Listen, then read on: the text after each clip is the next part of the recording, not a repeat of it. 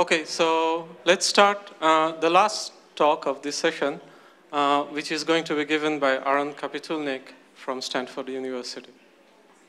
Um, thank you uh, very much. I would like to thank the organizers for the invitation to come uh, and talk to you about this work. Uh, I'm going to talk about uh, also transport, but I will concentrate on thermal diffusivity, basically diffusivity, but uh, uh, mostly thermal diffusivity, uh, which most of it, I mean, in fact, almost all the work was done by J.C. Zhang. the new student is Eric, and Sean has been around. and samples come from all over. I'll talk today about uh, uh, uh, hole doped and, and electron doped cuprates. So uh, just a reminder, I'm sure you all seen it, uh, especially today, a few times. Uh, but let me start from, uh, from the Ohm's law.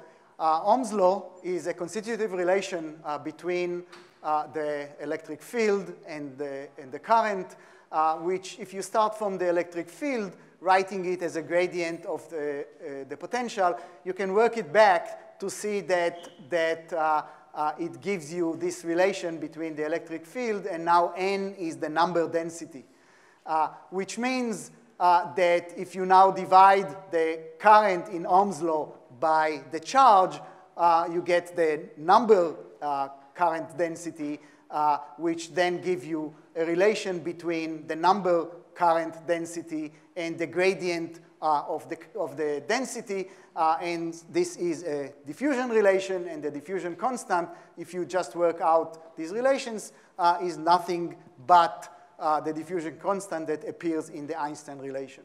Well, you can do the same thing with uh, uh, Fourier's law, as we saw uh, in Kamran Behnia's talk today.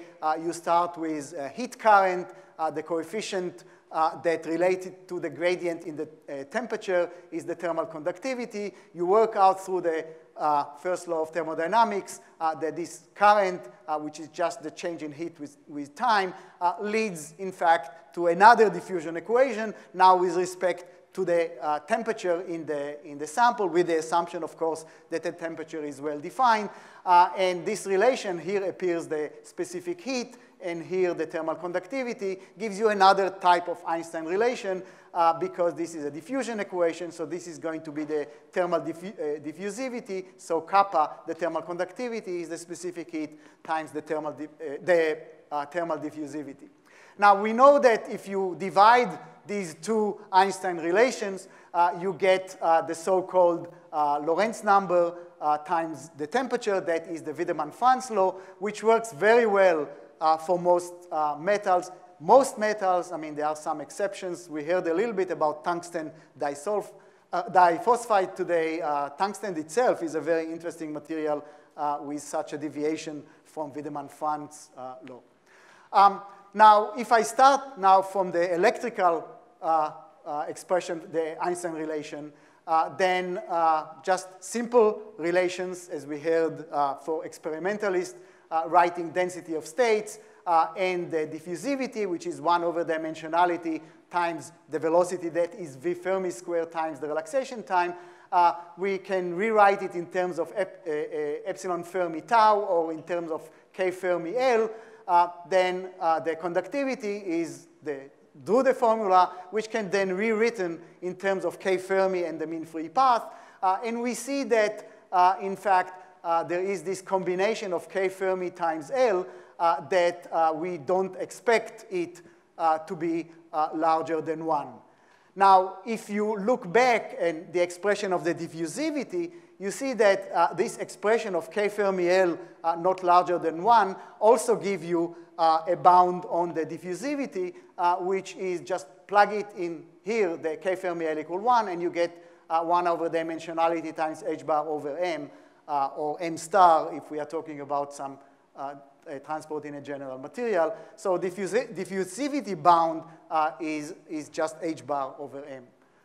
Now, I, I want to remind you that uh, kind of the, the relation, this is very simple to, to uh, uh, simple Drude or Boltzmann transport, uh, which is uh, that in order to define transport uh, in momentum, uh, with well-defined momentum, you need to create a wave packet.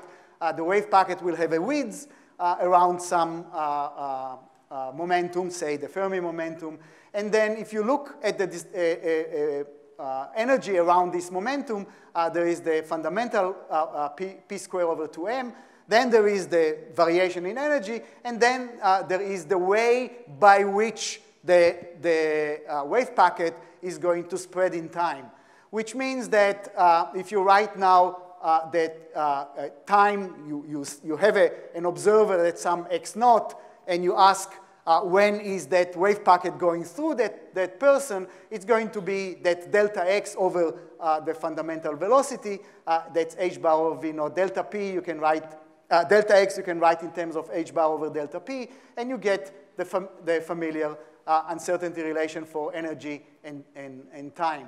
But then there is another hidden thing uh, in, in this kind of, of relation, which is you do not allow the wave packet to spread too much. And the way the wave packet spreads is uh, that the, uh, delta t of spread is h bar over this term, uh, which needs to be much larger than the delta t that appears in the uncertainty relation.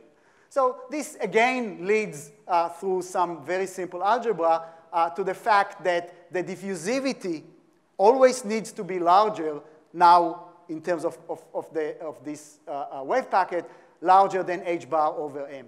So uh, this kind of uh, brings us back to that relation that appeared in the Drude formula that uh, when K Fermi needs to be much larger than 1 for it to work, it also means that D needs to be much larger than, than, uh, than H bar over M. Both are equivalent in, in, in talking about uh, transport. Obviously, uh, the limit at which K Fermi is of order 1 is the so-called uh, Mott-Ioffe-Regel limit, uh, and uh, which now we have that, or as was proposed by others, uh, if you want to discuss well-defined quasi-particles, uh, then what you want is that the mean free path will be larger than the Fermi wavelengths. Uh, this introduces a factor of 2 pi. And I think this factor of 2 pi appears everywhere, including in Planckian uh, relaxation time, uh, whether it's h bar over kt or it's h bar over 2 pi kt. I'm not, I'm not going to uh, negotiate, I mean, discuss or negotiate this uh, for me, this is uh, the same. Um, anyway, the, the whole issue about uh, exceeding the Mott-Ioffe-Regel limit uh, appeared when uh, people measured resistivity of many of these newly discovered at the time high-temperature superconductors, hole-doped superconductors, and found that resistivity continues to increase, whether linear or or uh, uh, different than linear, but increase much beyond uh, the, the, this Mott-Ioffe-Regel limit, uh, and as if nothing happens at, at that limit, at that limit of K Fermi L equal 1 or L mean free parties of order of the, of the Fermi wavelengths. So there was no saturation. Um, the people who noticed it uh, at the beginning were uh, Emery and Kivelson. They called these, these metals bad metals and even uh, tried, uh, they, they, they noticed the fact that many times rho is proportional to T. Uh, they even tried to make the connection uh, to the high temperature superconductivity at the time. I think that this still remains an unclear issue whether there is or not any relations to this. Now, um, the linear resistivity was then highlighted, and we saw it several times today, by Bruin and al., uh, where they, sh they showed that uh, if you then rewrite uh, the Drude formula uh, in, uh, in terms of uh, such numbers as a function of 1 over V Fermi, there is a linear line with a, a proportionality constant alpha, and the previous talk discussed in details whether what is the uh, value of alpha, uh, which in general has been shown, especially if you plot it in a log-log plot, uh, to be very close to 1.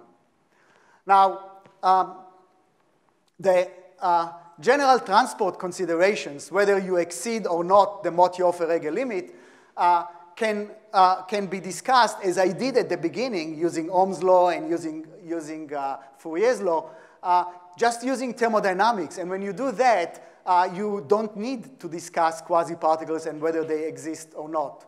Um, so if you do that, uh, you can still ask yourself about uh, uh, whether uh, this, this kind of transport can continue in a metallic fashion beyond the Mott-Ioffe-Regel limit.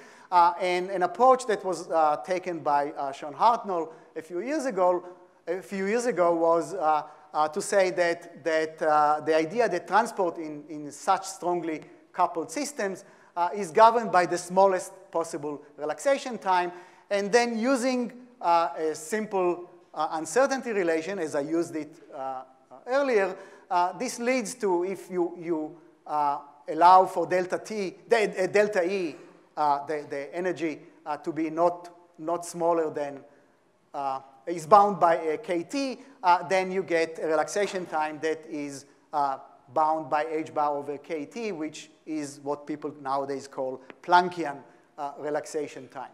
If you then plug this into uh, the simple formula of diffusivity, uh, you get that the diffusivity uh, needs to be uh, larger uh, than h bar times a velocity, which for electrons is going to be the Fermi velocity square over kT. Well, all this is uh, a very simple picture, uh, which then uh, allowed uh, Sean to draw this diagram, resistivity, which is at low temperature, maybe if you uh, uh, want to talk about good versus uh, or coherent versus incoherent particles will be limited by K Fermi L equal to 1 here without any temperature dependence. But then as you increase the temperature, there is going to be a, a diffusivity bound that goes like 1 over T because of this Planckian relaxation time. copper and, and high TC are going to be therefore in different regimes.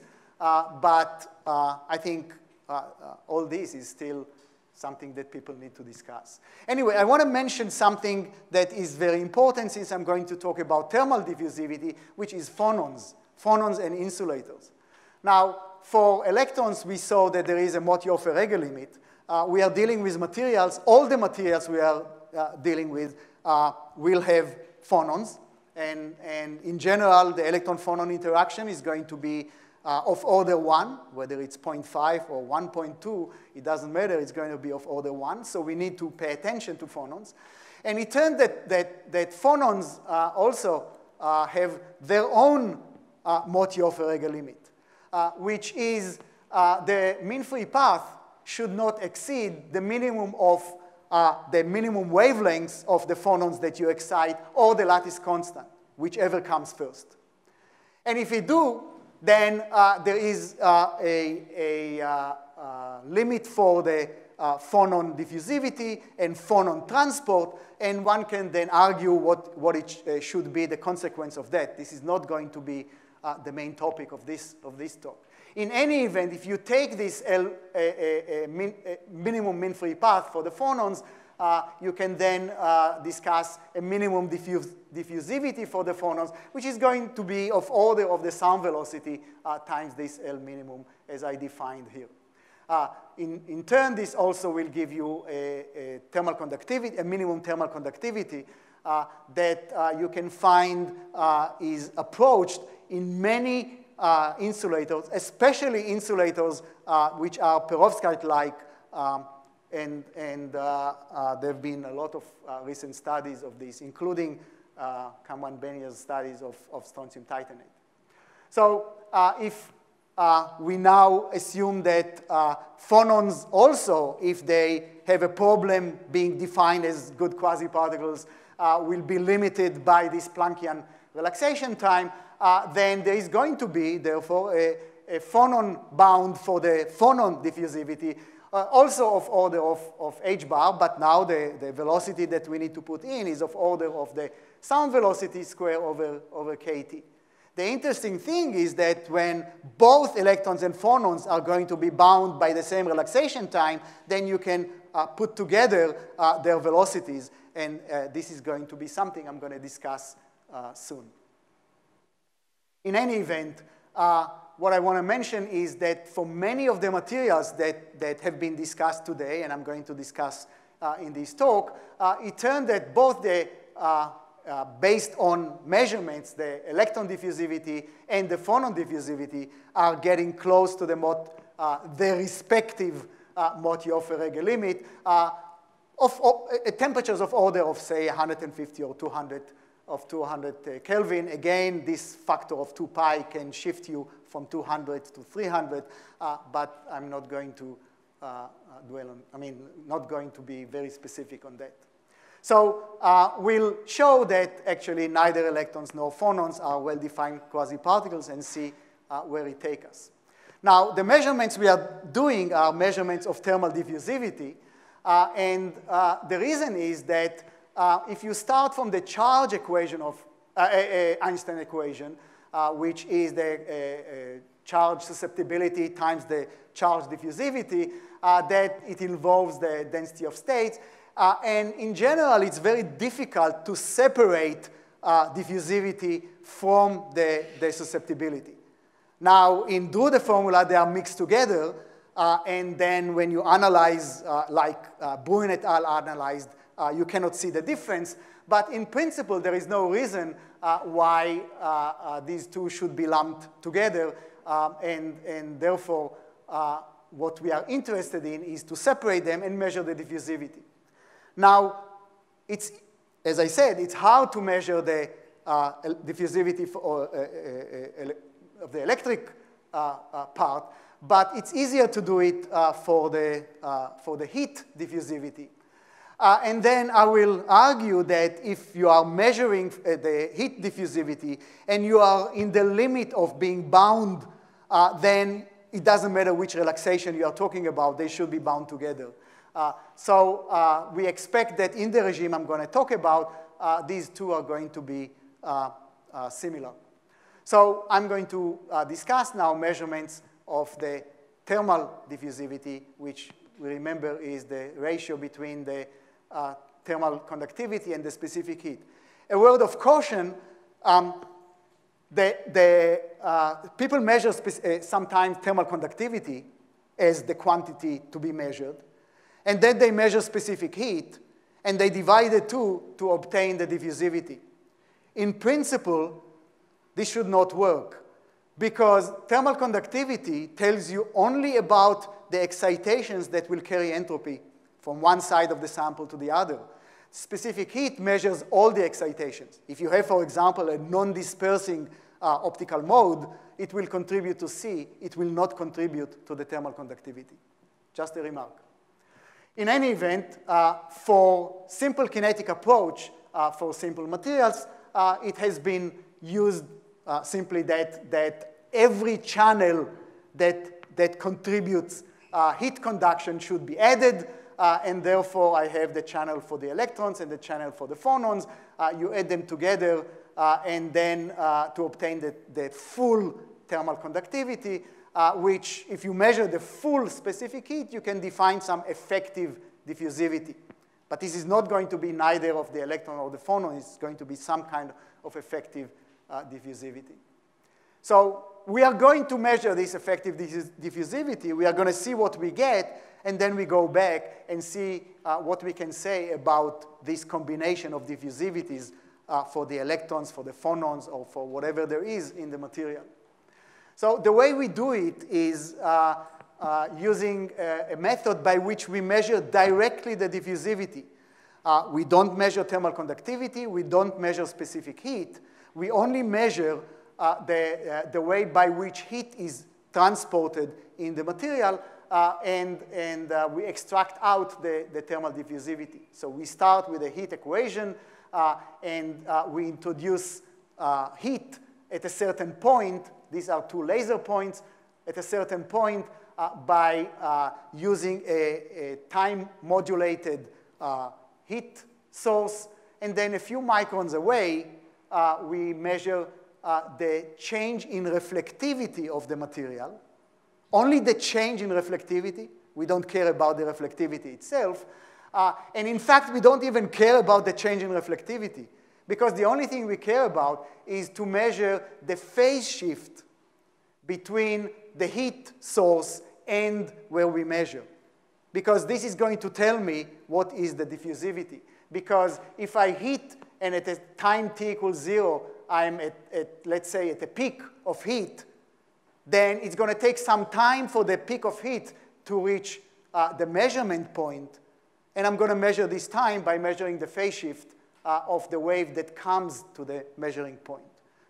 And this gives me the diffusivity. In fact, you can solve the, uh, the heat equation, uh, and, and, in the uh, infinite limit, uh, you see that there is an exponential term that, that goes like square root of the frequency by which I modulate the heat over twice the diffusivity of the heat times the distance. I can change the distance, I can change the frequency, and by that, I can get the diffusivity uh, in length scales of order of a few microns, which is very good because many of the materials we are going to talk about may have uh, uh, uh domains, may have uh, twinning twin boundaries, may have a lot of defects. With this, we can avoid these defects. We can average the diffusivity over many uh, parts of the material. And in particular, we can measure anisotropy. We can measure anisotropy very easily, as I'll show you in a minute. So as I said, this is the phase shift that we measure, so we can then plot it as a function of frequency. Typically, uh, we measure between 200 hertz and 30 kilohertz. And when we get such a good fit, we know that there is only one type of, of fluid that transports the heat uh, in time scales that with respect to the size that I'm using, and here you can see we measured over 18 microns distance, uh, then, then uh, I mean, and here this was measured between 500 hertz and 20 kilohertz, then there is, within, within this time scale, there is just one type of fluid that is transporting the heat. And this is very important, okay? As I mentioned, it's very easy to use this method to measure anisotropy of the diffusivity because I can place the heating spot at one point and then go around with the measuring spot. And this is uh, some YBCO sample in which we measure the full diffusivity. And then I can find the ma maximum, the minimum, and yes? The laser beam, uh, you can uh, uh, uh see from, uh, in fact, from here. So it's, it's about one micron. It's, it's uh, uh, focused at around one micron, and the typical distance we will use is between a few microns to about 20 microns, depending on the material. Yes? Is there any influence of the third direction that the heat diffuses also in the sample, not only on yeah. So, so uh, uh, in, in, in principle, I mean, what we do is we solve the, uh, the full heat equation, but uh, if, if there is a, a, a, a, so anyway, to cut it short, the answer is, the answer is yes, uh, the third direction is, is uh, coming in, and then uh, you need to distinguish whether you have a material in which the third direction is much lower diffusivity or not, but this is modeled in three, in three dimensions, uh, and, and, uh, but the diffusivity, because I'm measuring it only to within one optical penetration depth, uh, is, is uh, uh, in, the, in the plane. But the modeling is three-dimensional. Okay, so uh, let me first show you some results on underdoped YBCO, not yet optimally doped, underdoped. Um, and uh, samples are here. They are between 6.5 and 6.75 um, uh, oxygen doping. Um, and here is the result. First, I told you I can measure the anisotropy. Here is the anisotropy in the diffusivity as a function of angle going around one point, then the other one goes around. Uh, and uh, then we locate the uh, highest and the lowest and measure it as a function of temperature. Uh, this is from uh, room temperature down to about 20 Kelvin uh, along the B direction. That's the chain direction. And then the A direction, that's perpendicular to the chain direction. And these are actually aligned very, very precisely uh, with the two uh, principal axes of, of the material. So this is for 6.6, this is for 6.75. I have, I have others uh, as well. Um, now, the, the interesting thing is, which you don't see it from here, is if you divide now uh, the two directions in order to uh, look at the anisotropy itself. And surprisingly, you find that um, uh, this is just these two, but uh, we have uh, 6.67 falling on top of it as well, uh, is that the anisotropy, first of all, is very large. Uh, if you don't remember the, uh, for example, anisotropy in the sound velocity of this material, whether you go along the chain or perpendicular, is just a few percent. This is the anisotropy that people observe in resistivity, which is an electrical type of measurement. Moreover, this is the onset uh, that people find in charge, for charge order in this material. Again, this is something uh, that people will observe in, in uh, electrical measurements, uh, and it's not supposed to appear so strongly in, the, uh, in, in, in uh, say, phonon measurements.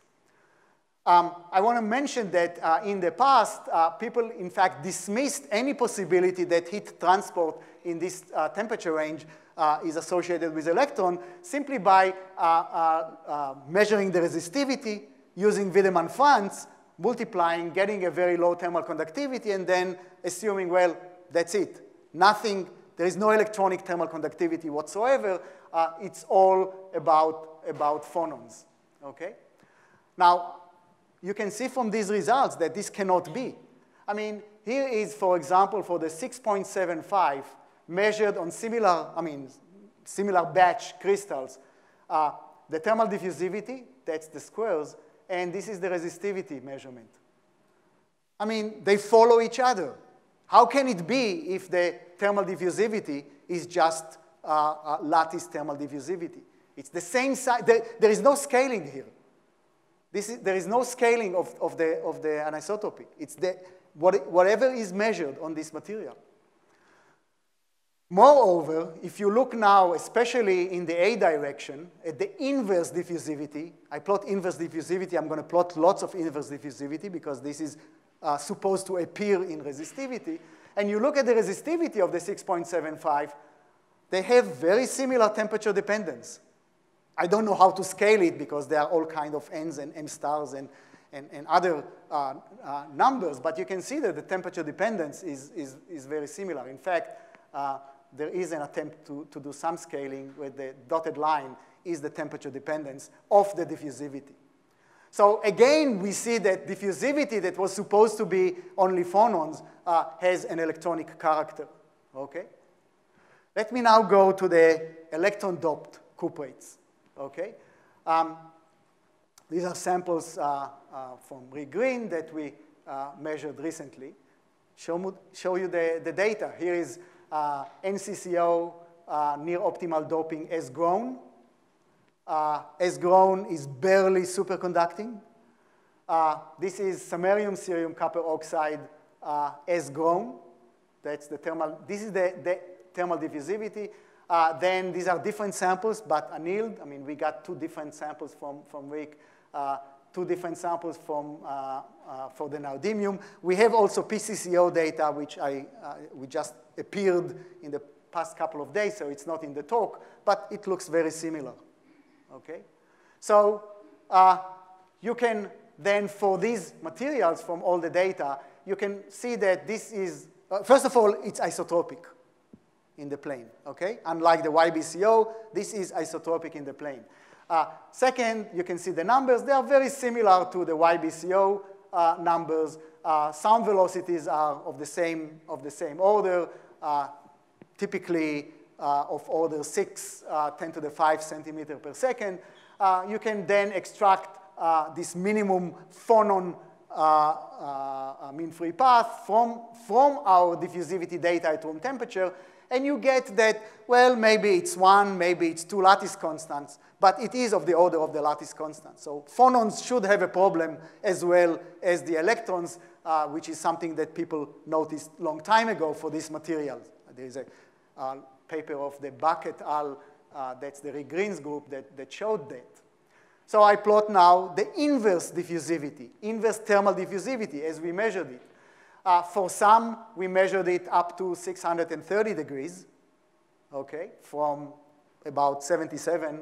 So showing here is, a, say, from 100 degrees to, I mean, this one to about 400, 600, uh, 600, 600. And the interesting thing is to notice is that the inverse diffusivity for all these systems is linear. It's linear through wherever should be the Mott-Ioffe-Regel limit, uh, both for the electrons and for the phonons in, in, in this material. Uh, this is despite the fact that the resistivity is not always linear. Uh, the the uh, SCCO uh, uh, near optimal doping is sometimes linear, uh, but NCCO uh, in general goes like T square, PCCO goes like T square all the way to very high temperatures, which is also something that is not well understood. Now, if we then try to fit this line of, of inverse thermal diffusivity, it's easier to do here uh, because it's perfect, perfect linear. We find that the inverse diffusivity is fit with AT plus B. It's a straight line. Now, in the same spirit as, as in the YBCO, I'm going to assume now a relaxation time, uh, which is Planckian uh, relaxation time that is limited by h bar over kt. Uh, and therefore, this AT is the inverse of h bar times velocity square uh, over uh, dimensionality times, times kt, okay, to the, to, the, uh, to the minus 1 because this is inverse diffusivity okay? And then I have a constant b. Now, if I do that, this means that I assume that there is a single velocity. But at least to within the frequencies that we measured, which is the time scale of these measurements, we see only one type of fluid that is taking the heat. So it makes sense to use just one velocity. I'll call it VB. Don't ask me why.